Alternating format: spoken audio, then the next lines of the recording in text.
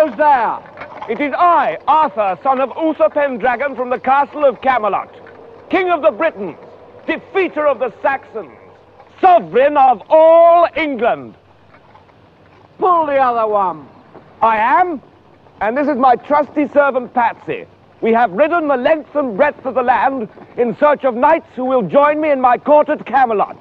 I must speak with your lord and master. What, ridden on a horse? Yes. You're using coconuts.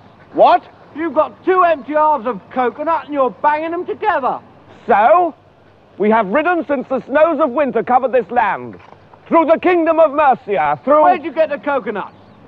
We found them. Found them? In Mercia, the coconut's tropical. What do you mean? Well, this is a temperate zone. The swallow may fly south with the sun, or the house martin or the plover may seek warmer climes in winter, yet these are not strangers to our land. Are you suggesting coconuts migrate? Not at all. They could be carried. What? A swallow carrying a coconut? It could grip it by the husk. It's not a question of where he grips it. It's a simple question of weight ratios. A five ounce bird could not carry a one pound coconut. Well, it doesn't matter. Will you go and tell your master that Arthur from the court of Camelot is here? Listen, in order to maintain airspeed velocity, a swallow needs to beat its wings 43 times every second, right? Please! Am I right?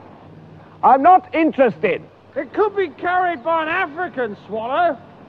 Oh, yeah, an African swallow may be, but not a European swallow, that's my point. Oh, yeah, I agree with that. Will you ask your master if he wants to join my court at Camelot? But then, of course, uh, African swallows are non-migratory, Oh, yeah. so they couldn't bring a coconut back anyway. Wait a minute. Supposing two swallows carried it together.